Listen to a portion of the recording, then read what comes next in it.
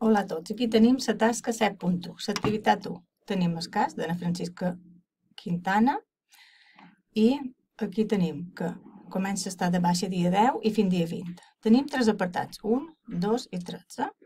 Quant de dies cobrarà? Detallar el procediment i els càlculs i aquí calcular l'import només de la prestació eh? que cobrarà per els dies de baixa. D'acord? I tenim que la seva base de cotització del mes de febrer recordem el mes anterior, aquí ja m'ho dona la data, són 1.800 euros. Eh? Amb això heu de fer càlculs.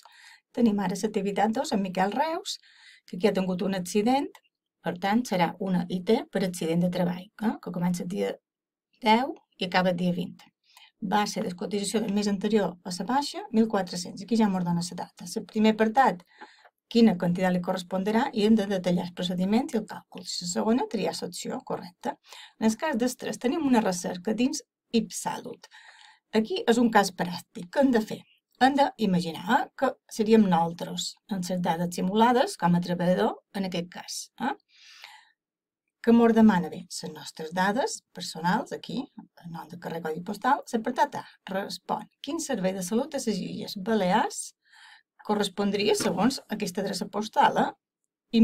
Que tots són, aquí mos ho diuen, tu ets el personal contratat. Per tant, contratat per un altre règim general de seguretat social. Per això tots, en aquest supòsit, podran tenir accés a la targeta sanitària. I detallat centre que correspon, segons, clar, segons el que és nostra adreça postal i la patata, el nom del centre de salut, les dades de contacte, telèfon i hospital. Eh? Moltes gràcies i bona feina a tots.